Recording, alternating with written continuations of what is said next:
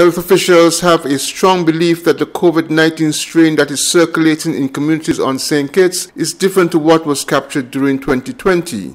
St. Kitts and Nevis's Chief Medical Officer Dr. Hazel Laws said samples of the current COVID-19 strain that is circulating have been sent to the Caribbean Public Health Agency CARPHA for genomic sequencing, a process that would reveal the type of COVID-19 in circulation.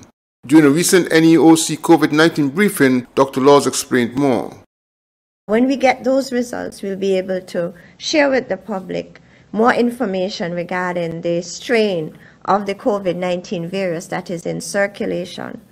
But coming out of the, the meeting that I chaired with the case managers last Friday morning, uh, at the end of the meeting, we concurred two things. One, the, the, the, the strain of the virus that is in circulation now is more transmissible than the strain that we um, contained last year between March and June, July. So it's more transmissible and it is more deadly.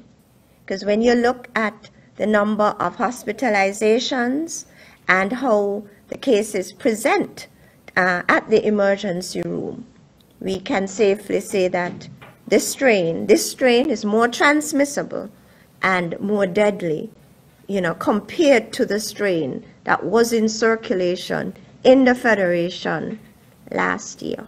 Following the initial circulation, virus mutations have resulted in four main variants. The Alpha variant was first identified in the United Kingdom, the Beta variant originated in South Africa, the Gamma variant was identified in Brazil, and the Delta variant was first seen in India. According to the World Health Organization, the Delta variant is about 50% more transmissible than the other COVID-19 variants, and it has become the dominant strain circulating worldwide. Glenn Barrett reporting for SKN Newsline.